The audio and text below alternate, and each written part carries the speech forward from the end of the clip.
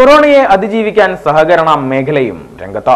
ഒന്നിച്ചു നിൽക്കാം പ്രതിരോധിക്കാം എന്ന സന്ദേശവുമായി തൃശൂർ താലൂക്ക് റൂറൽ വെൽഫെയർ സഹകരണ സംഘം തൃശൂരിൽ സൗജന്യ മാസ്ക് വിതരണം നടത്തി.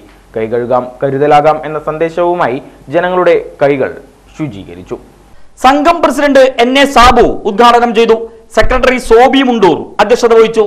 Panchayat president P G Unnikrishnan Congress മണ്ഡലം president P S Venugopalan P Girish Linson Tirur Ravi Poluvalappil C P John Shammi C T Denny Annie Raphael പ്രസംഗിച്ചു.